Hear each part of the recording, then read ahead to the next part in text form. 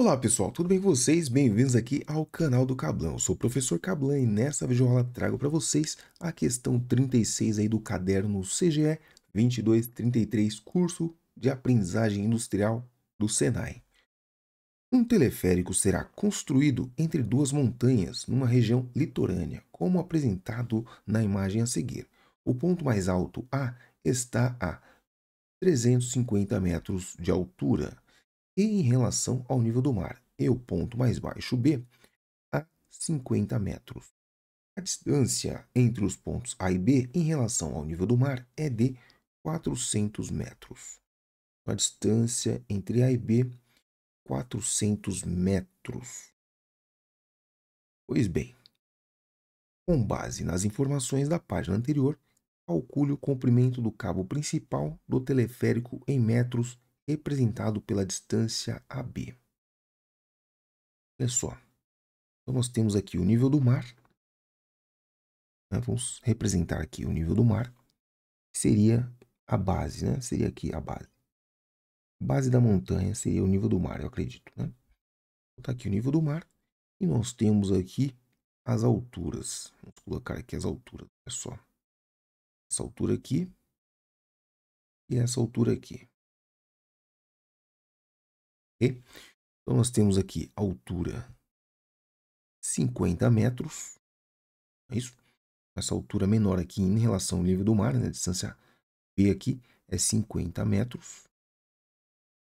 E a outra altura maior é de 400 metros. Bom, vamos traçar aqui agora uma outra distância aqui na base. E aí nós conseguimos, então, um triângulo retângulo. Um triângulo retângulo aqui. E aí nós vamos trabalhar em cima desse triângulo retângulo para calcular aqui a comprimento né, do cabo. Tá? Só arrumar aqui. O comprimento do cabo será a hipotenusa desse nosso triângulo retângulo ABC. Vamos chamar aqui de C. Então, nosso triângulo retângulo ABC. Bom, a altura inteira é 400 metros, porém, nós temos 50 aqui para baixo, então esse cateto aqui vai ser 350 e aqui vai ser 50 metros. Precisamos aí da hipotenusa, pessoal. Pitágoras, né?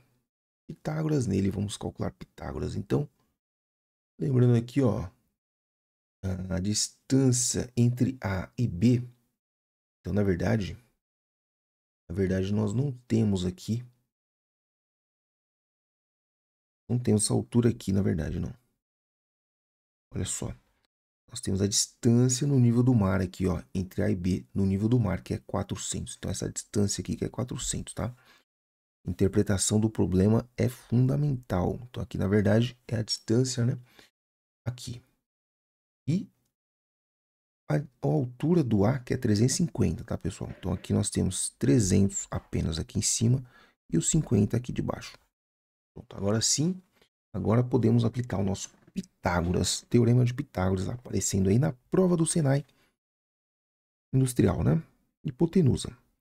Então, hipotenusa ao quadrado vai ser igual soma dos quadrados dos catetos. Temos aqui. Esse triângulo é muito conhecido, né? Esse triângulo aqui é o famoso, olha só, 5, 3, 4. É o famoso 5, 3, 4. Só que agora, né, tá multiplicado aí por 100 cada um. Os catetos aí dos, dos lados. É conhecido, esse triângulo é conhecido, só pode ser 500, né? Mas vamos chegar na resposta, ó. 3 vezes 3 dá 9, com mais 4 zeros. 4 vezes 4 dá 16, com mais 4 zeros. Adicionando essas duas parcelas, nós temos aí 25. Vejamos aqui. 160 mil com mais 90 mil dá 250 mil. Pronto. Raiz quadrada de 250 mil, claro, vai dar 500. Portanto, o comprimento aí do cabo é 500 metros. Alternativa A, pessoal. Então aí, Teorema do Pitágoras resolveu a nossa questão aí. O fundamental aqui é você interpretar corretamente o problema. Tudo bem, pessoal? Então não esquece de se inscrever no canal, deixar aquele seu joinha. Tamo junto, é nóis, tchau.